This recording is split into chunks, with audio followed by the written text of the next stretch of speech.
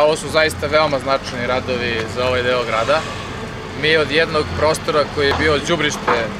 nekad u, u prošlosti grada i vidimo koliko su se neodgovorno ponašali prema životnoj sredini ljudi koji su tada vodili grad, pravimo lokaciju za razvijanje biznisa i za zapošljavanje ljudi.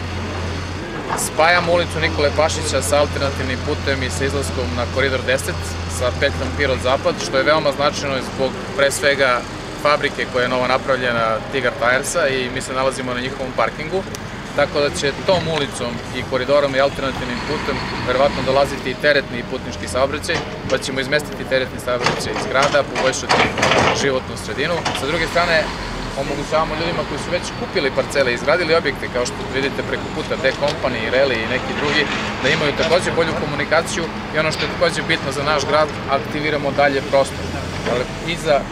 u zaleđu lokacije fabrike D-Company do alternativnog puta ima još zemljišta koje mi želimo da aktiviramo i zbog toga su ovi naporni i teški infrastrukturni radovi u toku jer smo morali da menjamo tlo, da čistimo e, zemljište koje je bilo prepuno raznovrstnog džubreta i komunalnog otpada i da uložimo preko 44 miliona dinara za deonicu od 300 metara po,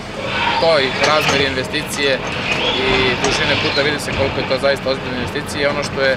bitno, mi smo hteli da uz učešće ministarstva privrede tamo negde u martu, aprilu uradimo ovu deonicu do kraja. E, tada nismo dobili podršku, ali smo mi obesili Tajersu i drugim ljudima koji ovde funkcionišu da ćemo iznaći načina da napravimo ulicu, ali ostaje nekih 100 metara puta, odnosno veze sa alternativnim putem, to ćemo uraditi sledeće godine i konačno aktivirati ceo ovaj prostor.